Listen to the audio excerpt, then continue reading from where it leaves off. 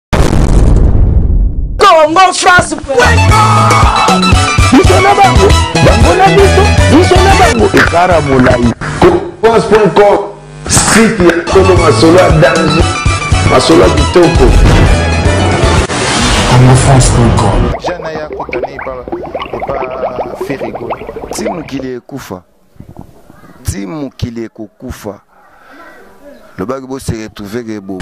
cause.com site ya solo masolo ya danger masolo ya kitoko babi guerre yo na miel ezalaka ya nini nga na nani na, na miel so matika na podium moto ya liboso yaka kaka oyeka miel Chanze ye kutu ti miel ye na ngai eza problème ngam na recruta miel na kati ya maison mère. Cause.com site ya solo masolo ya danger masolo ya kitoko Mesdames et messieurs, partout au monde, vous nous suivez euh, sur 3W Congo France, le meilleur site d'Europe, parce que nous revenons sur l'actualité qui vous intéresse, évidemment, parce que la musique adoucit le maire. Entre autres, il faut savoir euh, qu'il y a beaucoup de choses, beaucoup de richesses en République démocratique du Congo, mais la musique reste la seule qui nous déstresse après beaucoup de stress. Après, moi, ma moi, ma moi, ma problème est belé, musique, boson, toujours et défoulard et ça, Rabino, grand bien, c'est pourquoi nous revenons après l'actualité politique, nous revenons toujours sur la musique. Question pour nous de vous mettre au centre de l'actualité. Euh, Lélo, Je me suis fait un grand plaisir nga moko ya luka moko ba musicien il est de la haute school mais azalaka toujours euh, nakosala bino plaisir adjane lelo avec lui tosolola un peu mwa baactualité na ye mpe maactualité mwa mingi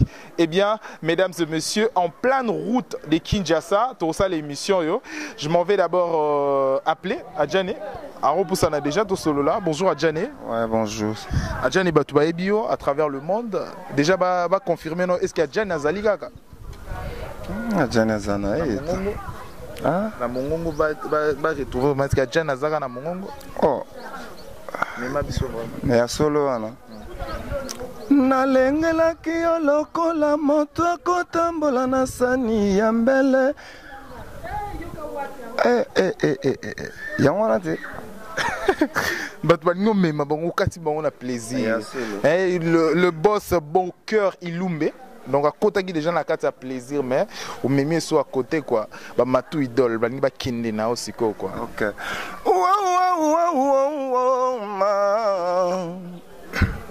nga mwana nalembi simeona meseneki na yo yozalaki pare na ngai ya libala o nzambe piele samuel mm. voilà adjane voix eza kaka bato basenture ke hmm. exercice wana eza kaka mais qu'est ce qu'il y a jane na, na kati ya wenge muzika maison mère oza lisusu te tomono lisusu te oza lisusu te kozala te eza elobi ebele kua c'est trop dire wana eza mouvement na nga wana eza plan ya vie na nga nga naza mwana ya palin donc euh, mwana oyo baboti ye na famille non pas ayant droit soki totie ayant droit c'est trop dur donc naza mwana ya ndako donc suis le fils de le roi de la forêt donc c'est mon père voilà quoi c'est ton père mais oza lisusu parmi effectif ya wenge musique maison mère te mais yo ozalaka aire nyonso soki okiei so olobi lelo ozonga na yo ozongi no facilement soki on dirait berkai na yo kaka so obeti mwa 2 3 jours 4 jours olobi no lelo maison mère ozongeli non eza normal eza normal naza deja yaya nasi nazwa pe pale na ngai ya kofutela ya etikala kaka namonisaka ye bakoko nde namonisaka ye bakoko na ye bazali voilà quoi mais bakoko ne baobi ke adja na bongoli motema akoma oyemba musique religieuse non kobongola kobongola motema c'est pas mal bongo yo mote ozaka motema mabe yo oza motema malamu te toyoki obongoli motema okomoyemba musique ya nzambe te wana baevante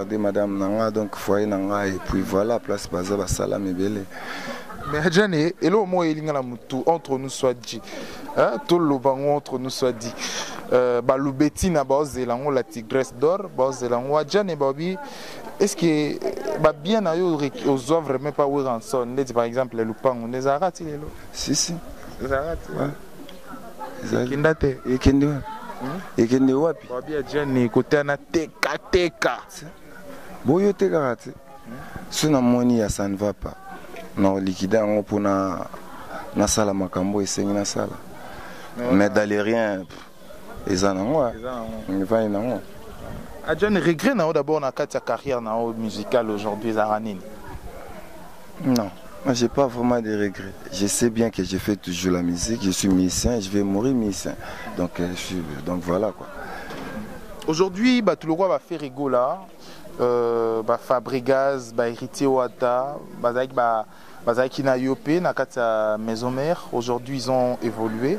et que toi tu, tu évolues aussi na manière na yo ça te dit quoi aujourd'hui évolution wana okoki kodetaille yango yo sikoyo nde faut détailler non dans ma part nayebi ke non bana mai bazo travailler ndenge ngai nao travailler nao développer par rapport à quoi donc ça va ngana sunga yo donc matou idole matou idole ya debora bofando eh, ba double jindo fusu moninga kolo mokili ba boss hein, boss euh, on t'appelle le boss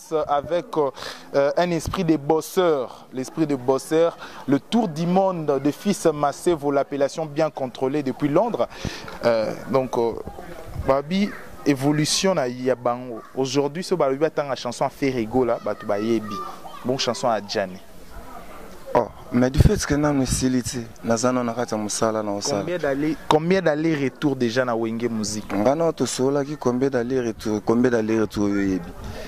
oyo oyebi ke nga nasali ba aller retour na kati ya Wenge Maison Mère. Merci Tele. Oui. Yebisa nga. Ba question na nga ba réponse na yo. Ba question na yo ba réponse na nga. Ah yango wana kasi na yebisi yo. Nous répondre. Ba doit tala yo pe. Mais oui. bo bakotala nga te bakotala na nga aza chuchote tout le monde fo batala nga nde naosalisa émission boye ozala suivi na makambo moko boye nayebi ti ndeni boyebelaka yango donc eza grave hein? donc euh, donc euh, déjà euh, évolution ya ya Ferrigol aujourd'hui je parle des, des, des albums deux albums aujourd'hui Fabrigaz euh, et Pimoko album Lisusu mais ça te dit rien AJJ ah, Lisusu comprendre que eza bango eza bango ntango mpe ajane ya kobimisa ya ye ça te dit quoi elobelo nini sikoyo ajane ajane se depuis oza mpe ene ya neti fabrigas oza yaya na ye ça me dit absolument rien parce que moi je travaille je travaille dans mon coin parce que je sais ce que je vais faire nayebi oyo nazolinga nasala nayebi oyo nazosala donc euh, moi j'aime pas les polémiques oye oye oye non parce que ntango na oloba balobaki nga boye o nga boye donc topesa bango avantage avantage basi basali baplan na bango nga mpe plan na nga lokola eza koya eza koya elobelo te peut-être ose révolte osala makambo autrement question na nga boule na nga eza kutu kaka bongo osala makambo autrement euh, cette fois-ci osala obimisaki ya jane ndenge mosusu peut-être badadi ya kuza dadi ya kuza 6000 chevaux na france baozelo na bapoint moko ozobwaka bango badadi na yo wana ozo bwaka bango intérêt na nga nini na kati po yo osola na nga yo intérêt yo olingi intérêt no ozalaka na nyonso nga na osala oh. mais eza question te neti dadi ya boye nakoloba mpe ke no toni libofa bourgeois eza question te wana site na kaka motu moko boyeyo répondre nga osunga nga to to solo na kosunga yo na nyonso oloba d'accord nga na lobi a Jan lelo eyo révolutionner yo te osala pe peut-être otia mwa ki euh, otia mwa ardeur mo na mosala voir de de jeunes plus que toi lelo basali na je suis en train de te parler tout à l'heure nga naza nao na travail naza kotravaille naza na kikuku oyo tolobaka cuisine kua naza na ghetto nao travaille donc j'ai pas encore fini donc dès que j'ai fini obangi nini oke wapi nga nalobi nga nalobi place nga azali na besoin yo loba yango wana ozo travailler album yango sikoyo ozobimisa koma yango nini on est là on est là oui place nga alingaki oloba yango c'est ça yebisa nga sikoyo album yango ebima quand non non non non non wana pene eza entre parenthèses album na nga nazo travailler naza na jour ebima te mpona na sisite ouais. tu on est là elingi eloba nini en fait elingi eloba que tu es là et mosala okufi nanu te non je suis toujours là donc naza génération en génération je suis là voilà bato bana mposa sikoyo na minute oyo sepelisa bango na mwa extrême mwa moke kaka ya album na yo mpo bakozongaka toujours mpo batuna on est là eza wapi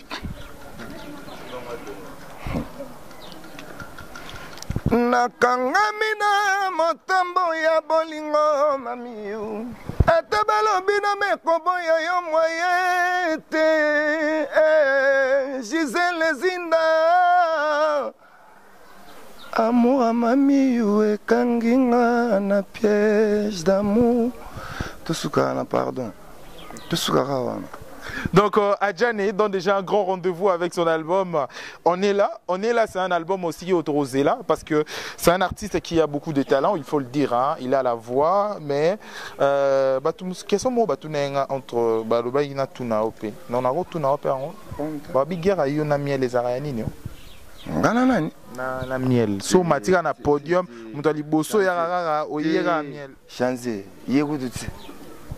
miel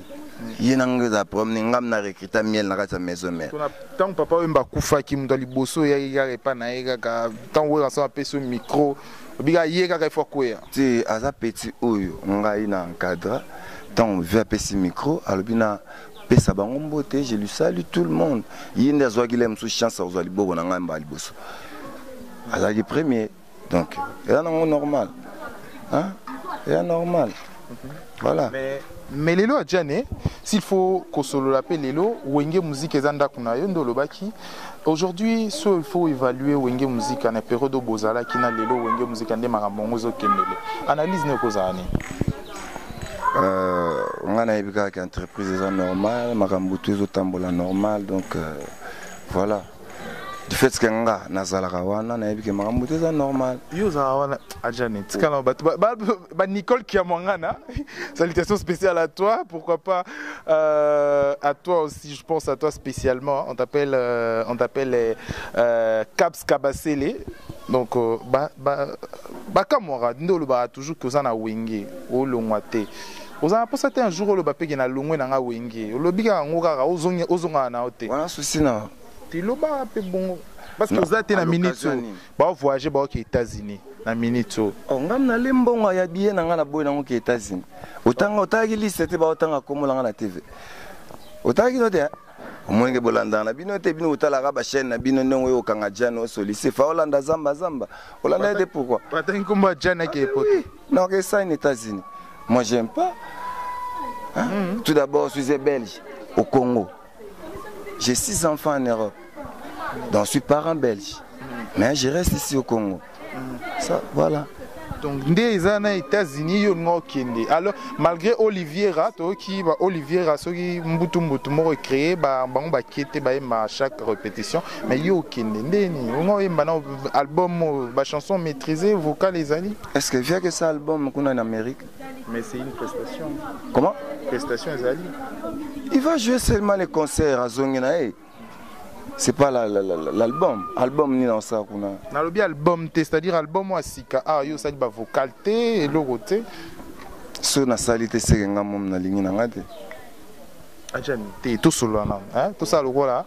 tosala lokola nga na yo nde eloba entre nous quoi tosolola neti muna aza te le président de cameraman aza te tosolola nga na yo est ce que ajani lelo vraiment soki weranson avandi alobi faut compter bana na ye akobanda na classement selon yo akobanda na bana nini nani moto ya liboso nga kwani yo oboyo mo oyoka yango te nde aloba héritier watanable ah, héritier chouchou héritier asi alongwa mouvement héritier ne plus na na kati ya, ya maison mère héritier aza soutien ye aza na masolo na ye te ozoyoka plan na ye te Ah, moi loro ne moko ezo beta wana mutambu soit disant. Oyoki yango déjà? Oui, na yoka te poignon wana. Na yebi te, na yoka kaka. Eza ndeni, siko yo mo aussi.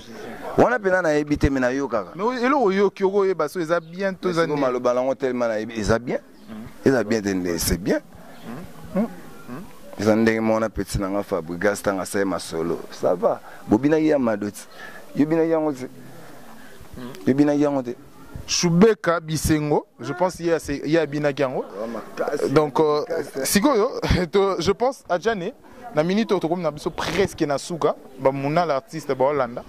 na minute so bana mposo osala biso moi au moins état de lieu ya baartiste ya 5e génération aujourd'hui euh, ya 5e génération yo oza no na génération te mpo yo oza no na maison mère ngai oloba no mpenza bien mais eyebana na toutes les générations oza nao na génération te mpo oza nao na maison mère solo album yango soki osala kaka na kati ya wenge to oza libanda wenge yo ebina na kati ya maison mère finance yango na kati D'accord, merci. Est-ce que l'état des lieux, il y a des artistes de 5e génération, ça il faut ça Ouais, j'apprécie Petit Nanga Fabrigaz, c'est Kaza Bassala Nebele, Héritier Watanabe, et puis voilà quoi. na suki na nga eh. oh, fali ipupa ouais wana aza mpangi na nga ye na salue na ngai me natie na ngai ye na ran wana ti na salue ye ka ran wana otie te pwani nga moko nga moko kaka nayebi pwani natie te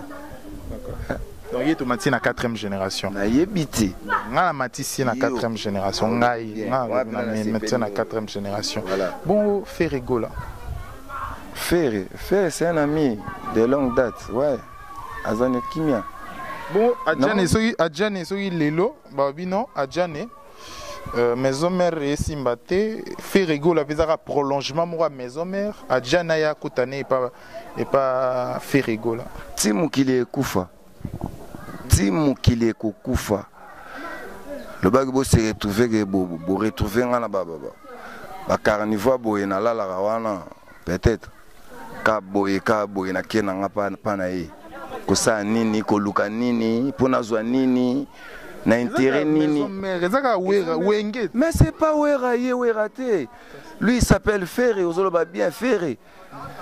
en tout cas excusez nga to changer de titre donc so aye sikoyo alobi non adjane ya oyemba na album esimba ti eza nini rando to nini te rando te kasi nini nga afulaka esimba te so fulaka oye oyembi ata il a pas l'argent de me donner non solisuti bien oza sûr non solana yo Ah, oh, biloko boye oh. biloko boye même ton producteur aotala alobi non fe rego la mpo na nini producteur yango akenda ozwa ye te aye ozwa nga falaka azwa ye te boba nazwi nga ah yo oyebisa nga intel kaleki nga rien te naobi taleki yo ah, ok nasepeli ndenge mais nde ozaka na epa weranson tosungana kaka tosolola biso entre nous kaka mm. euh, lelo f victime ebima maison mwa production oyebi yango nayebi te fali ipupa f victime mm. elobi lelo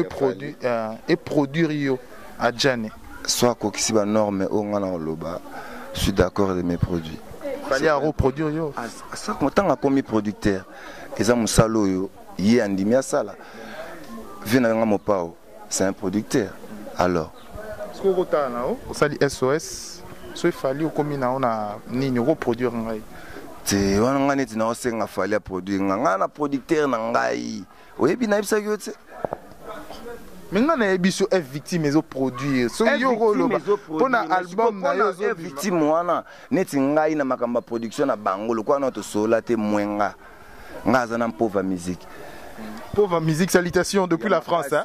Salutations le vieux ah, Pova. Senti donc kala tende to aussi ça téléphone au lela ba code kili kili oya. Parce que ana posa au sepelise lo on album na lo sepelisa ya na minute au tala ye ba au tala. Donc euh, vieux Pova au ah, tala vieux Pova au tala oyebi. Au tala. Au tala vraiment depuis France. Ah, salutations vieux euh, donc vieux ayebi yo bien Alors. donc vieux de- mais, euh, salutation mpo ozalaka toujours wana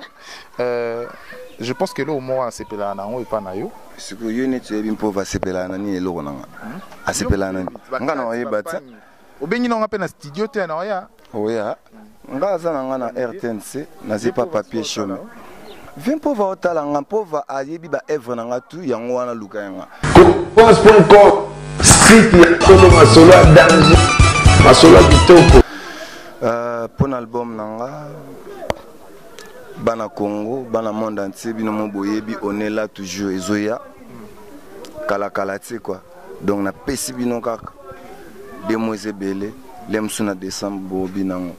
Hmm. siko devoir à domicile ya bato nyonso baotala bayoka kaka nde nini aja na okumbela masolo yango na album na ye mwa kunga kaka me na oto osala kunga yango toyokaki te te oyo ya suka sikoyo tokabwa nango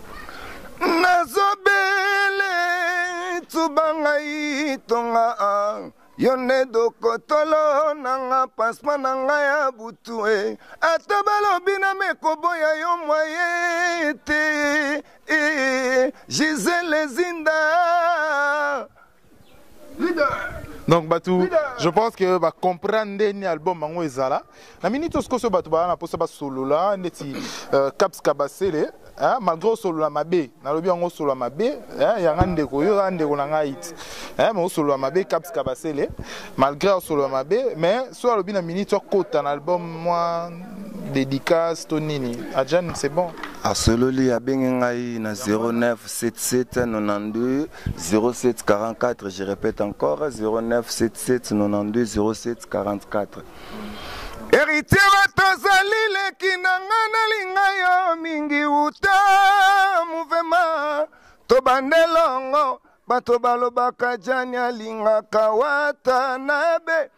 oyo nakomi koyoka na matoi nde susi héritier banga papa oh.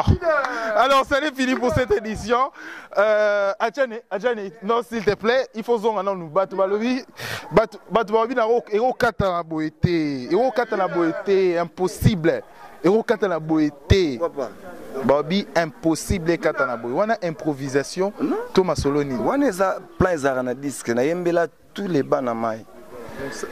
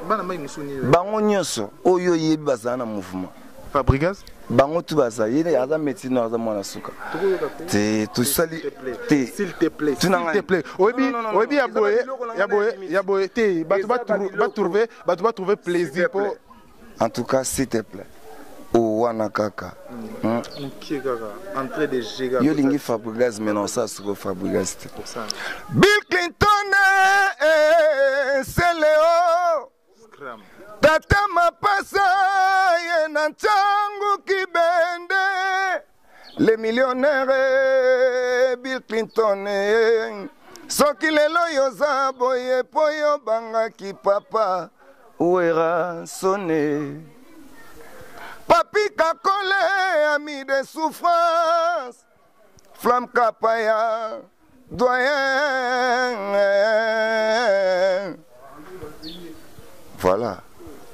ngai ngai ngai nasepeli na nga te oh. vo elelisa nango ngai me nga sikoyo nasepeli te sepelisa nga mpe kaka suka nga sikoyo fe regola kaka na na nani oyebi motu ni asengi yango bon cœur ilumbe alobi ayebisaki nga yango vraiment alobi te non so osali kaka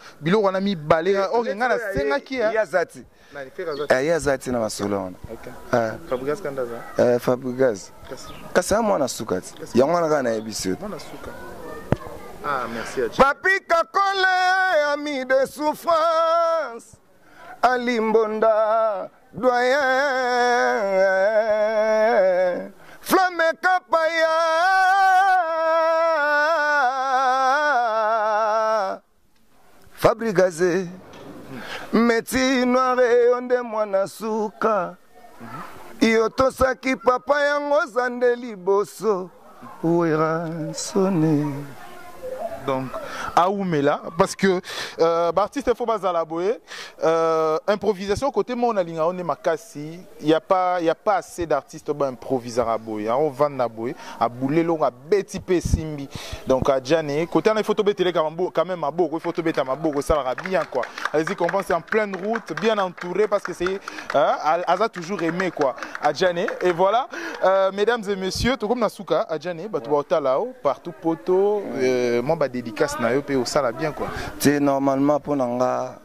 Moi j'aime tout le monde. Donc napesaka mbote na moto nyonso oyo aza na souci aide ngai azala nsima na ngai toujours même pas moralement financement et puis voilà quoi donc euh, monde entier congo na biso congo brazzaville angola j'aime tout le monde quoi donc euh, ciao bisous à tout le monde donc euh, déjà euh, salutations spéciales à tous les amis de raphaël retrouvailles falov neymar je pense à toi orsil mori hein, orsil je pense à toi aris aris salutations spéciales à Djorka, tous les amis de Raphaël Walukonka, je pense spécialement à vous parce que vous avez toujours Nabiso Bosolola, toujours bien. Pourquoi pas à Asie asiatique, la meuf qui dérange, autrement dit, Yanga Moninga quoi. Alors, ce n'est fini pour cette édition. Merci de l'avoir suivi, mesdames et messieurs. On se retrouve trop prochainement pour une prochaine édition. On va parler avec un autre artiste, évidemment, euh, une autre actualité. Mouna l'artiste, merci pour la prise de vue. Balbi Mouna l'artiste Migoloyo. Okomi Bongo Mouna rando zoluka okomi bongo toloba rande Rendekita Balobi. Euh, salutations spéciales à toi, Blaise Boula. Blaise Boula, euh, Rendekita, on l'attend. Ferregola, euh, salutations spéciales. Et je pense que tu es maintenant actuellement en Angola. Et pourquoi pas euh, Scram, Kram. Hein. Scram, félicitations à toi. Parce que Wenzamun